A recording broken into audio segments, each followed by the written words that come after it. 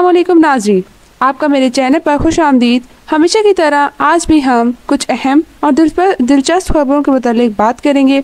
आज कुलूस उस्मान पर बात करने से पहले मैं आपको एक दिल दला देने वाली खबर सुनाऊँगी, जिसको सुनकर यकीनन आप बहुत ही हैरान और परेशान हो जाएँगी।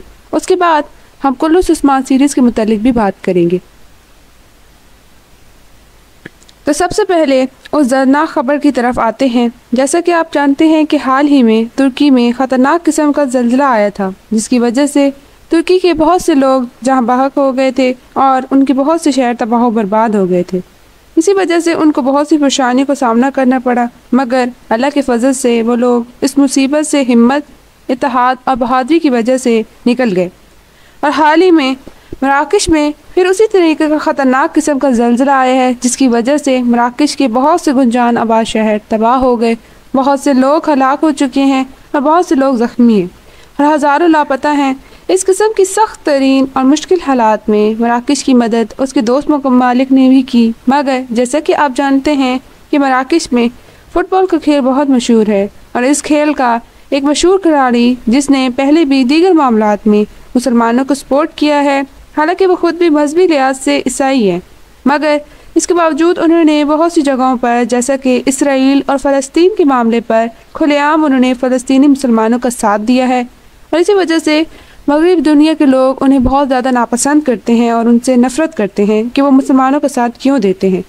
और शायद अब अगर तो आप फुटबॉल देखते हैं तो शायद आपको अंदाज़ा हो गया होगा कि मैं किसके बारे में बात कर रही हूँ, और अगर नहीं तो मैं बता दूँ कि उनका नाम क्रिस्टियानो रोनाल्डो हैं जिनकी वर्ल्ड कप में नाकामी पर मराकश के ही लोगों ने उनकी बहुत ज़्यादा बेइज्जती की थी और उनका मज़ाक बनाया था। मगर इस किस्म के मुश्किल हालात में ना तो दूसरे फुटबॉल प्लेयर्स जिनको मराकश के लोग बहुत पसंद करते हैं, मिसाल के तौर पर मेसी वगैरह, लेकिन उन्होंने भी मराकश की कोई मदद नहीं की, ना ही उनकी तरफ़ कोई हमदर्दी का इजहार किया है। उन्होंने कुछ भी नहीं किया उनके लिए। मगर अगर हम देखें क्रिस्टियानो रोनाल्डो की तरफ़ तो जिसका उन्होंने सबसे पहले मज़ाक बनाया था, उसी ने सबसे पहले ये खबर सुनते ही उनके साथ हमदर्दी का इजहार किया। उन्होंने मराकश में मौजूद अपने होटल को उन बेघर लोगों के लिए खोल दिया और उन सब के लिए, जिनके पास ना छत था, ना रोटी थी और ना ही कोई कपड़े थे और वो सड़क पे मौजूद थे। तो उन्होंने उनकी मदद के लिए अपना जो होटल था, वो मुफ़्त खोल दिया और उन्होंने इस तरीके से इंसानियत की एक बेहतरीन मिसाल कायम की, जिसके लिए हम उनका दिल की गहराइयों से शुक्रिया अदा करते हैं। दिल से यही दुआ निकलती है ऐसे ही लोगों के लिए कि अल्लाह उनको हदायत दे और मराकश के लोगों को भी अल्लाह सब्र जमील अता फरमा तो यकीन ही खबर सुनने के बाद आप बहुत ज़्यादा परेशान और गमगीन हो गए होंगे, मगर अब अब आपके दिल को खुश ज़रा खुशगवार करने के लिए ऐसी खबर की तरफ़ आते हैं जो बहुत से मनहून के फैंस को खुश कर देगी। जैसा कि आप लोग जानते हैं औरहान का एक्टर तो फाइनल हो चुका है। मगर जो मनहून के फैंस हैं, अब उनकी नज़र फातमा खातून के किरदार पर थी। यकीनन फातमा खातून का किरदार भी बहुत ही अहम किरदार है और वो उस्मान साहब की इकलौती बेटी थी। तो ये कहा जा रहा है कि जो उनकी एक्ट्रेस है, अब वो भी फाइनल हो चुकी हैं। तो मलून के फैंस के लिए इंतज़ार की घड़ियाँ ख़त्म हो चुकी हैं। उस एक्ट्रेस का नाम लिया क्रिश्चियन है। और इससे पहले भी वो मुख्तलिफ़ ड्रामों में काम कर चुकी हैं और जहाँ तक कि उन्होंने एक तारीख़ी ड्रामे में भी काम किया है, जिसका नाम सुल्तान अब्दुल हमीद है। और वो किरदार उन्हें बहुत ही बखूबी तरीके से निभाया था। और अब यकीनन फातमा का किरदार भी वो बहुत ही बेहतरीन तरीके से अदा करेंगी। और अब दूसरी तरफ़ हम आते हैं। जैसे कि आप जानते हैं कि नौजवान औरहान की पहली शरीक हयात के किरदार पर भी लोगों की नज़र थी, जो कि लेपिस नाम की एक एक्ट्रेस अदा करेंगी। और यही खबरें आ रही हैं कि अभी शायद उन्हीं को ही उसका होलोफेरा का जो किरदार है, वो अदा करने के लिए दिया जाए, मगर अभी कंफर्म नहीं है। लेकिन उम्मीद लगाई जा सकती है कि शायद वही होलोफेरा का किरदार अदा करें। अब आखिर में मैं आपको एक किरदार से मुतारफ़ कराऊँगी। जिसके बारे में अगर आपने यूनस एमरे का ड्रामा देखा है तो उसे जानते होंगे। यूनस एमरे तुर्की के लोक शायर थे। वो अपनी दजवाशाना शायरी की वजह से काफ़ी मशहूर थे। उनका किरदार भी कुल्लूस उस्मान सीरीज़ के सीज़न फाइव में डाला जा रहा है। वैसे तो तारीखी तौर पर उस्मान गाजी ने ने कभी उनसे मुलाकात नहीं की। ना ही वो कभी मिले। हाँ मगर ये ज़रूर है कि यूनस एमरे उस्मान गाजी के मतलब जानते थे। और उस्मान गाजी भी यूनिस एमरी के मतलब जानते थे। मगर दोनों की कभी आपस में मुलाकात नहीं हुई थी। मगर जैसा कि आप जानते हैं कि सीज़न फोर की अभी कुछ एक साथ रहती थी कि शेख अदवाली का किरदार ख़त्म हो गया। और आप जानते हैं कि शेख अदवाली का जो किरदार था, वो ड्रामे में बहुत ज़्यादा अहमियत रखता था।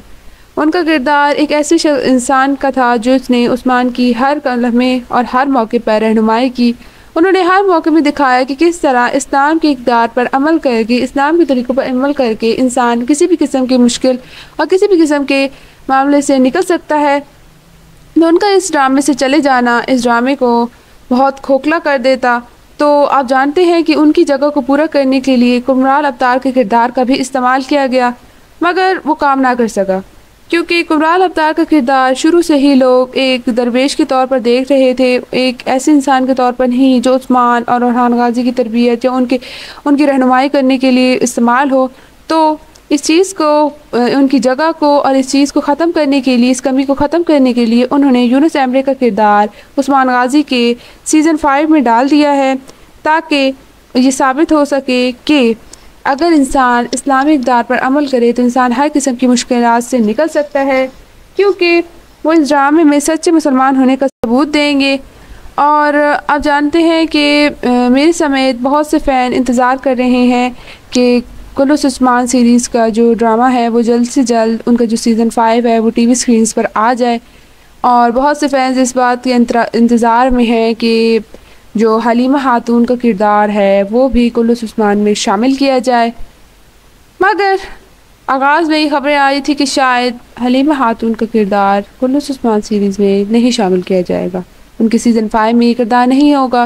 क्योंकि आप जानते हैं कि सीज़न फोर में ही मुश्किल से अगर उनके सारे सीन को इकट्ठा किया जाए तो मुश्किल से कोई पाँच छः मिनट के सीन बनेंगे। और यानी उन्हें कोई ज़्यादा अहमियत नहीं दी गई थी हलीमा खातून को। मगर चूँकि उन्होंने ये ख्याली किरदार तमाम लोगों से मुतारफ़ करवाया था तो ये उसे दरमियान में छोड़ भी नहीं सकते। तो पहले तो यही कहा जा रहा था कि शायद उसका किरदार ख़त्म हो जाएगा। मगर अब ये दो खबरें आई हैं जो यकीन बाला के फैंस को भी खुश करेंगी और महलून के फैंस को भी खुश करेंगी कि सबसे पहले जो हलीमा खातून है, उनका किरदार सीज़न फाइव में इंटर किया जा रहा है और ये कहा जा रहा है कि सीज़न वन के आगाज़ में सीज़न फाइव के आगाज़ की एपिसोड में ही हलीमा खातून के साथ कुछ बहुत ख़तरनाक होने वाला है। शायद वो ये दिखाएँगे कि वो किसी मुश्किल में पड़ने वाली हैं। और अभी तक तो यही है कि उनके मतलब यही दिखाया जाएगा कि वो किसी मुश्किल में अब वो किस मुश्किल में है यकीन बाला के फ़ैन अब ज़रा सब्र से काम ले। बहुत जल्द मालूम हो जाएगा कि वो कौन सी मुश्किल होगी। आखिर इस ड्रामे में मिर्च मसाला डालने के लिए खुद से भी तो कहानी बनानी पड़ती है। और जहाँ तक बालून के फैंस की मतलब है तो यकीन फातमा खातून होलोफेरा और हान, इनके किरदार तो फाइनल होते ही जा रहे हैं तो शायद उन्हें अभी भी याद हो कि सीज़न के एंड पर यह दिखाया गया था कि मलहून खातून का तीसरा बच्चा भी पैदा होने वाला था। तो वो तीसरा कौन है? क्या उसका किरदार दिखाया जाएगा सीज़न फाइव में? तो हाँ ये कहा जा रहा है कि उस्मान गाजी के जो दूसरे बेटे थे जैसे हामिद, मालिक, फजलारी, कोबन, इनमें से शायद कुछ एक को उनका तीसरा बेटे के तौर पे दिखाया जाएगा और हो सकता है बाकी बेटों को भी। वह गुजार के ये दिखाएँगे सीज़न फाइव तो हो सकता है वो उनके तीसरे बेटे के साथ साथ जो उनके दूसरे बच्चे थे, उनका किरदार भी ड्रामे में दिखाएँ। यकीन महलून के फैंस खुशी से पागल हो रहे होंगे कि महलून के बाकी के तमाम बच्चे भी दिखाए जाएँगे। उन्हें खुश होना भी चाहिए, काफ़ी इंतज़ार किया जा रहा है। तो आज के लिए बस इतना ही। उम्मीद है कि आपको ये वीडियो अच्छी लगी होगी। अगर तो आपको ये वीडियो पसंद आई है तो इस वीडियो को लाइक कर दीजिएगा और इसको शेयर भी कर दीजिएगा और मेरे चैनल को सब्सक्राइब कर दीजिएगा। और आपका मेरी वीडियो देखने के लिए बहुत बहुत शुक्रिया। अल्लाह हाफिज़ और अपना ख्याल रखिए।